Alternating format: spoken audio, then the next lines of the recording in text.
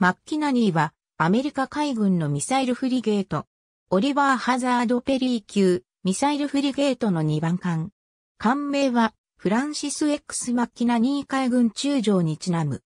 マッキナニーは1976年2月27日に FI75 プログラムの一部としてメイン州のバス鉄工所に建造発注され、1978年1月16日に寄港する。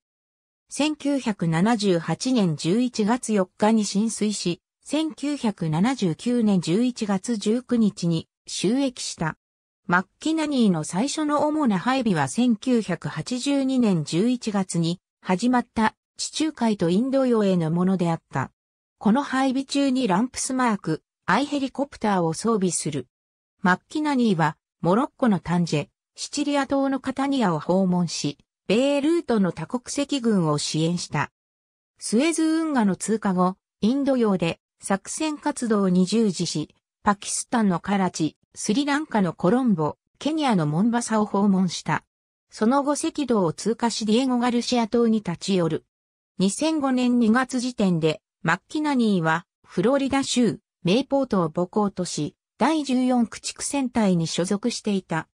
2010年8月31日、マッキナニーは、メイポートにて退役し、同日、パキスタン海軍に引き渡された。同国海軍での感銘は、アラムジルとなった。